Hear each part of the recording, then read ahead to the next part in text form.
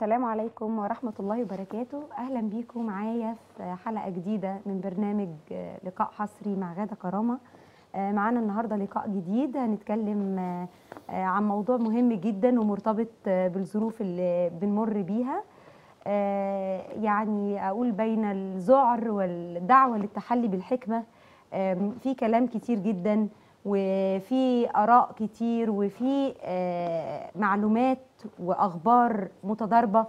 آه، ده طبعا بيدعو للقلق ولكن آه، إحنا إن شاء الله هنتخطى ال- الأمور دي كلها بالعقول ال- اللي تقدر إنها تفيدنا وبالشخصيات اللي حريصة على دورها في الفترة دي على جميع المستويات إن شاء الله. برحب آه، بالأستاذ مصطفى آه، عبد العظيم آه، المتخصص في الإدارة وتنمية الموارد البشرية وأعمال البنوك. أهلا بحضرتك يا فندم. إزيك يا ست؟ كل أخبارك؟ كل صوت طيب. أهلا بحضرتك بخير. أحب أشكر اولا أسرة البرنامج وعلى الحفاوة التامه واذكر آه، الإعداد وأشكر كل قناة عامة كبيرا أو صغيرا منهم. وإحنا بنشرف بوجود حضرتك. الله يخليك يا. ست كل. اتفضل آه النهارده بنتكلم عن عنوان الحلقة. إحنا بنقول آه يعني آه يعني كلمني حضرتك عن التفاصيل اللي إحنا عايزين نقولها النهارده بخصوص آه ان العالم بيقول لك العالم في ورطة. هل إحنا في ورطة ولا لسه المرحلة دي؟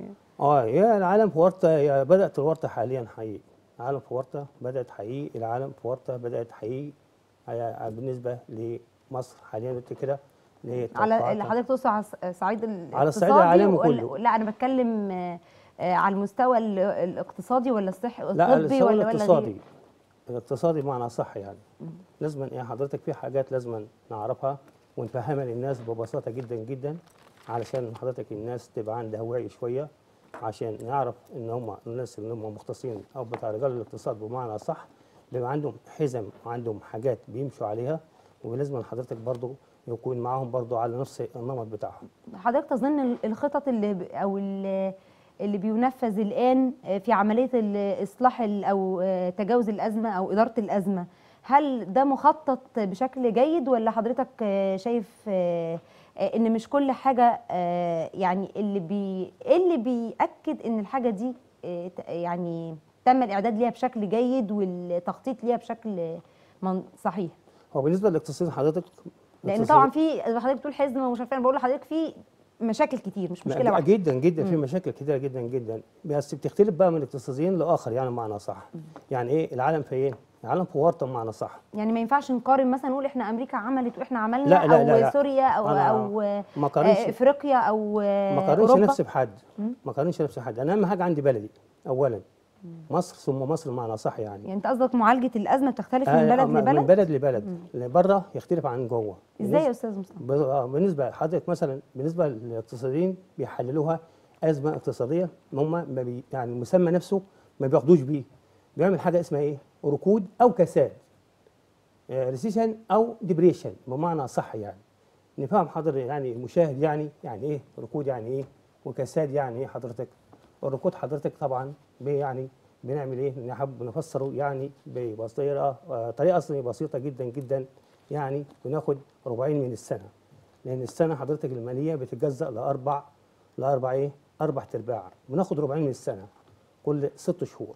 بيبقى النمو الاقتصادي في حالة يعني بالماينس بمعنى صح.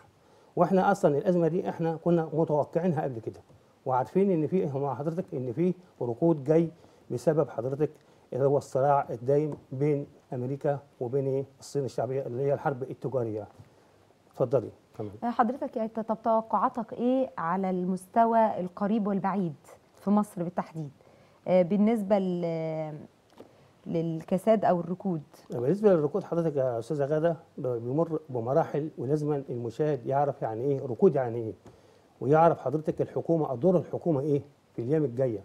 لأن الحكومة هيبقى عليها عبء جامد جدا جدا جدا عشان المشاهد حضرتك ما يعرفش عن الركود يعني إيه. لازم نشرح للمشاهد ركود والفرق بينه وبين وبين الكساد. زي ما آه. حضرتك إحنا كنا اتكلمنا في البورصة وقلنا تفاصيل كتير. بالظبط، ما هو برضو لازم آه، المشاهد يا يعني أستاذة غادة، ما حدش لازم- يعرف من آه الناس كلها. لازم لازم المشاهد يبقى يعني فاهم وواعي ومدرك وعارف الجهود الحكومة اللي بتقوم بيها. تمام. اتفضل حضرتك. كلمنا دلوقتي لازم نتكلم يعني يعني يعني؟ عن الكساد بطريقة. بسيطة جدا. آه الركود ده عبارة عن إيه حضرتك؟ آه اتفضل. بمعنى إن الاقتصاد من خبير من من اقتصاد لاقتصاد يعني إيه يعني تخصصات لبعضهم يعني.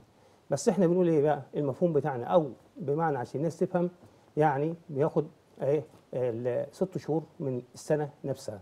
يعني كل ست شهور حضرتك بيبقى حاجة اسمها إيه نمو الاقتصاد في حالة في حالة هبوط. وإحنا كنا متوقعين اللي إيه؟ الركود ده حضرتك. بسبب إيه؟ الحرب التجارية بين إيه؟ بين الصين وبين آه أمريكا بمعنى صح بس جت بقى من إيه؟ من غير ما تشتهي الأنفس زي ما بيقولوا. جت حاجة من عند ربنا سبحانه وتعالى اللي هي حضرتك غير متوقعة اللي هو فيروس كورونا. يعني حاجة يعني اسمها البقعه السوداء بمعنى صح. أو البقعه السوداء بمعنى صح يعني حدث غير متوقع. يعني الناس ما كانتش متوقعة إن في فيروس هيجي وهيدمر كل العالم كله بمعنى صح. ولذلك تلاقي حضرتك تلاقي إن قصدك ولا المفكرين ولا والفلاسفه لا. والعلماء محضرين مش محضرين حاجة جاية حاجة حاجة سبحان الله. وباء من عند ربنا سبحانه وتعالى. كل الناس مش متوقعاه. هو كل بغض أصلا النظر عن اختلاف الآراء آه، في أسباب هذا بالظبط يا أستاذة غادة. كل المحنة. كل الخبراء حاليا في مصر حضرتك هم أصلا ما كانش متوقعين إن في فيروس هيظهر بمعنى صح. هم متعودين على الأزمة المالية دي معروفة. عارفين إن في ركود recession و depression. عارفين إن في ركود ناتج عن اللي هي الحرب التجارية بين أمريكا وبين الصين تمام. وكل الناس كانت متوقعة الحاجات دي بس حد جت سبحان الله من عند ربنا سبحانه وتعالى اللي هي اسمها البقعه السوداء يعني حاجة جت من عند كده من عند ربنا طب حضرتك أنتوا كإد... حضرتك آه، واخد دراسات في الإدارة وفي آه تنميه طبعاً الموارد. البشرية ومهتم بالشأن ده في تاريخك في آه جداً مجالك جداً. وحتى في أعمال البنوك فعايزه أقول لحضرتك انت آه، يعني هل في علوم الاقتصاد والإدارة اللي أنت قريت قرأت طبعا وأنا ده اللي أنا أعرفه عن حضرتك في قراءات لكبار المتخصصين في المجالات دي في آه. العالم مش في مصر بس المفكرين آه فهل في آه، مادة ال- الاقتصاد آه، على مستوى العالم موجود دراسة أو إشارة لمثل هذه الحالات اللي هي بتطرق فجأة أو زي ما حضرتك قلت غير متوقعة آه، وكيف يتعامل الاقتصادي أو الإداري الناجح في ع- في في التعامل مع الأزمة؟ كلامك مظبوط 10 يعني- على 10 يعني- كلامك 10 على 10 دي كده متهيألي الناس اللي ما كانوش عرفوا ده أستاذة مش غادة. هيعرفوا يعملوا أي حاجة. أستاذة غادة لازم أهم حاجة عندي المشاهد المشاهد المشاهد. لازم نكون يعني واعي للكلام اللي أنا هقوله. ما. ناخدش أصلا الموضوع منين؟ ما ناخدش الموضوع كده يعني؟ على عاتقه بمعنى صح. تمام. لازم نفهم المشاهد. يعني إيه؟ نفهمه إيه؟ نفهمه يعني إيه؟ يعني إيه ركود؟ إيه كساد؟ طب الركود ده بيعمل إيه؟ بيدا- بالكساد ده لو زاد عن حده بيعمل إيه؟ جميل. طب نبدأ بالركود. حضرتك شوقتني بقى أنا عايزة أعرف. آه الركود حضرتك هنقول لحضرتك الركود بالنسبة للاقتصاديون عشان بيحللوه من واحد لآخر يعني. بيقول لك إن كل يعني كل السنة المالية بتتجزأ لأربع تربع. ما هم بيخلوها زي ربعين من السنة. وإحنا كنا متنبئين إن في أزمة مالية جاية. بس جت حضرتك من حيث لا تدري. يعني إحنا كلنا معنى أصح كلنا إيه؟ كلنا تحت نطاق واحد. طب تعالى حضرتك نبعد عن مشكلتنا. إحنا دلوقتي بنعرف علميا معني إيه معنى الكساد ومعنى الركود وبعد كده نبدأ في مشكلتنا ما هو الكساد حضرتك يا أستاذة غادة ظهر آه. ظهر إمتى بقى؟ ظهر سنة 1000 آه كام؟ سنة 29 آه حضرتك قلت الركود ده. عجز يعني في البداية. أيوه طبعا ده دي كساد دي كان كساد ده عنيد جدا جدا جدا والناس عانت منه أو العالم كله عانت منه جامد جدا جدا. ولذلك لما تلاقي الركود حضرتك زاد عن حده حضرتك أو لفترة آه. يعني إيه؟ قصيره المدى. آه، يا بيؤدي الكساد عنيد جدا جدا. والعالم بيعاني منه حضرتك. أنت فاهمانه يا أستاذة غادة؟ لازم الناس كلها تعرف يعني الكساد. يعني إحنا دلوقتي في فترة الفترة اللي إحنا فيها إحنا دي لسه ما بدأناش. في آه. إحنا لسه بنقول بسم الله الرحمن الرحيم. لسه ما أيوة. بدأناش. وما كناش كلنا هنكون على يعني يعني معنى صح. كلنا في مركب واحد ولازم كلنا نشيل بعضنا بمعنى صح يبقى عليه العضو من العوض. لازم كلنا نقف جنب بعضينا.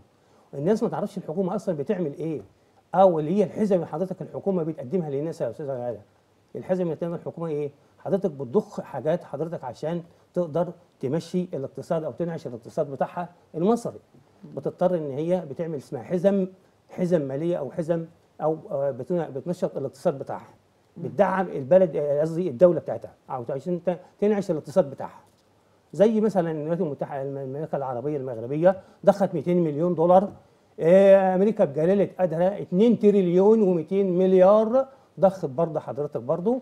كله ده عشان ينعش إيه؟ الاقتصاد بتاعه علشان العجلة تمشي زي ما آه حضرتك بتقول. وأنا يا أستاذة ويتم غاده عملية ال- آه. العرض والطلب بالظبط. في حاجة بقى حضرتك بقى. إيه بقى؟ العرض والطلب. العرض والطلب لازم بيسمع في الاقتصاد. الاقتصاد عبارة عن إيه عرض وطلب إحنا عايزين نوصل للمواطن البسيط اللي بيسمعنا دلوقتي أستاذة فحضرتك غادة. تفهمه أنا ببساطه ما أيوه أنا أنا بكلم بايه بصي جميل جدا. بكلم كلام آه يعني أنت سلس. فعلا أنت قلت باختصار إن جداً جداً. الركود آه، آه. هو ال- العجز والأزمة اللي بتؤدي لهذا الخلل على المستوى الاقتصادي في كل بيت وفي كل مكان في غادة. ولكن ال ال الكساد ده طبعا ده مرحلة متطورة ده من ال صعب جدا يا أستاذة الركود. غاده لما يكون. كساد عنيد يعني عنيف جدا جدا جدا جدا بيعاني منه العالم كله. الكساد ده يعني لو قعد زاد عن خمس سنين بيدمر العالم كله حضرتك. تمام. إحنا لازم حضرتك نعرف يعني إيه عرض إيه طلب. معايا؟ العرض والطلب. العرض حضرتك يعني لو في خلل في العرض أو في خلل في الطلب الحكومة حضرتك بتضطر إنك تتدخل تلقائيا.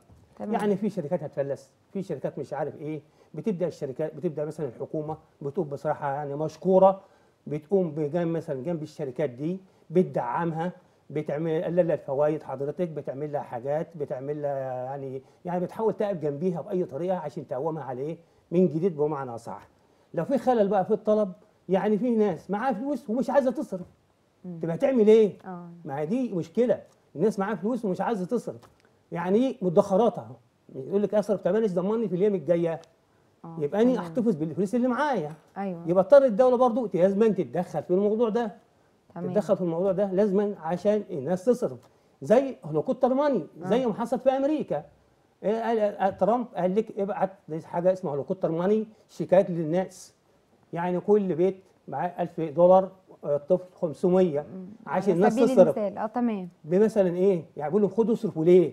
علشان العجلة تمشي. مرة إحنا تانية. كل عايزين آه، العجلة يا أستاذة. غادة العجلة تمشي. تمام. طب عايزة أكلم حضرتك في حضرتك ال- النقطة دي هتخليني أتكلم عن آه، الجانب الخاص بال- بالشهادات اللي سمعنا عنها. الشهادات الشهادات. وال- والفايدة. آه، حضرتك تعليقك إيه أو تع- يعني على ال- على الإجراء اللي اتخذ ده؟ في سبيل أو يعني في إطار معالجة الأزمات في هذه الف- الفترة مع المواطن العادي أو في المجتمع ككل. آه، إيه اللي شايفه بخصوص ال- الشهادات دي وإيه اللي وبيعود النفع على مين في المجتمع؟ بس غادة آه، معايا؟ بارتفاع نسبة الفايدة آه الفايدة دلوقتي حاليا حضرتك البنك المركزي زود إيه؟ زود الفايدة 15% طب أنا أنا عالجت حاجة بحاجة. إيه اللي عالجته؟ عالجت مع احترامي يعني للسادة المسؤولين خطأ بخطأ. أنا رفعت الفايدة بكام؟ 15% طب أنا كده قللت السيولة منين؟ طب طب ما ممكن أي مواطن يقول لك طب ما أنا كده هستفيد إن أنا أنا أقدر أحط مبلغ وآخد عائد شهري. ما أنا قلت الثانية كده يعني سحبت السيولة حضرتك. لأن في بنوك تانية هترفع الفايدة.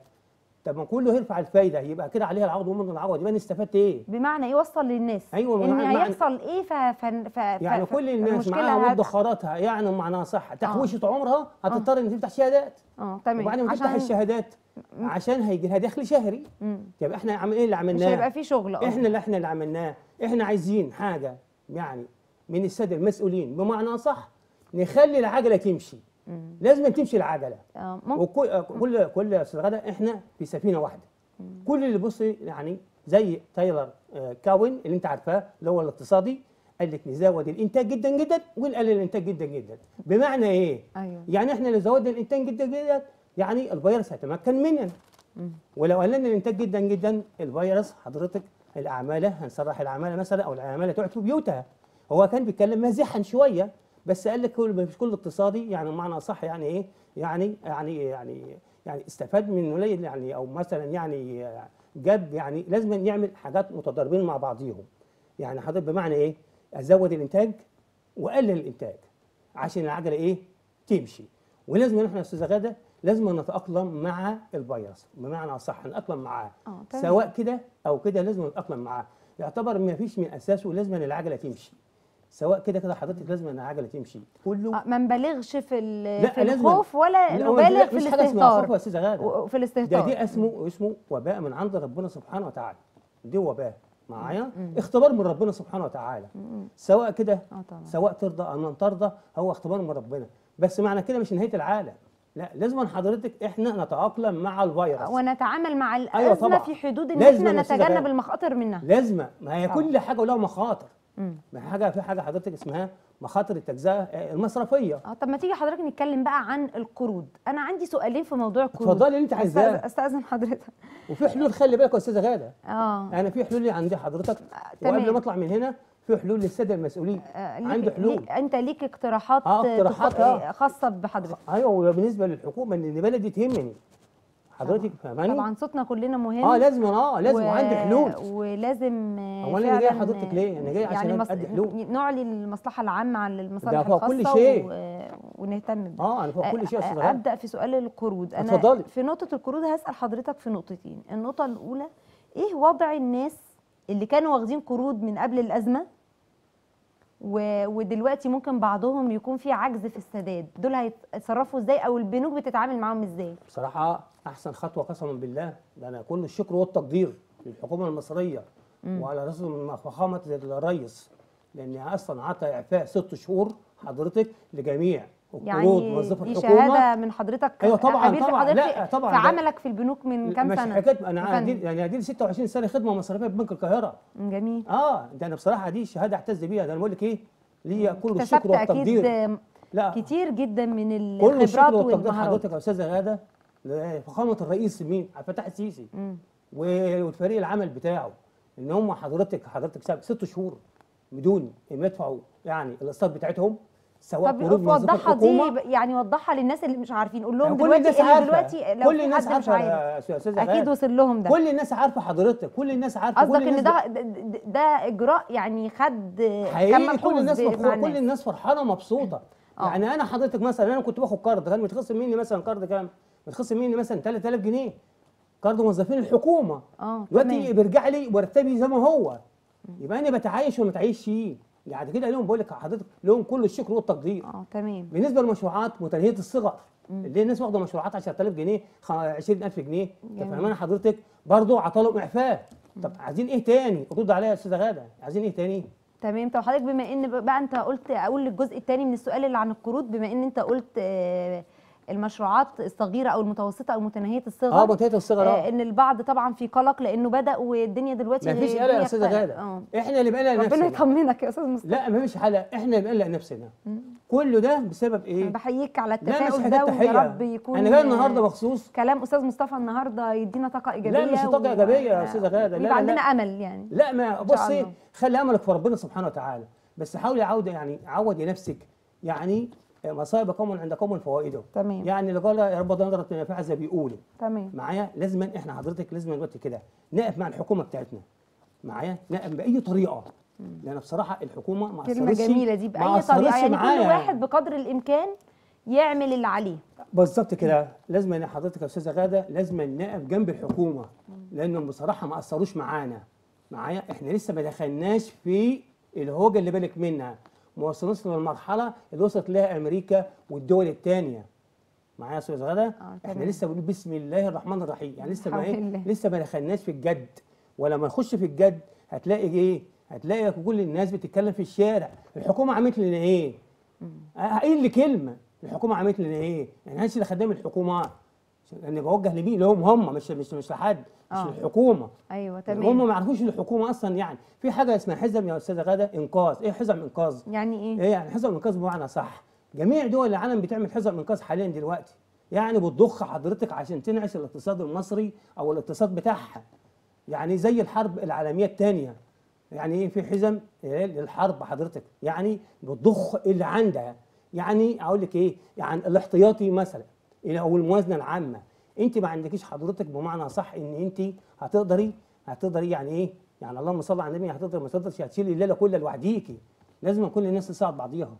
فاهماني يا أستاذة غدا آه تمام. معايا؟ مع حضرتك آه فاهماني؟ يبقى كل الناس تقف جنب بعضيها وكل الناس تساعد الحكومة. حضرتك دلوقتي اي طب حضرتك أنا حابة بقى إن أنت عشان وقتنا طبعا ويهمني جدا إن أنت تقول آه، مقترحاتك أو آه، آرائك الشخصية آه، في حلول بديلة لبعض ال- الأزمات في مصر في الفترة أحلى الحالية. حاجة بقى اللي أنت قلت عليها دي بصراحة عجبتني جدا جدا.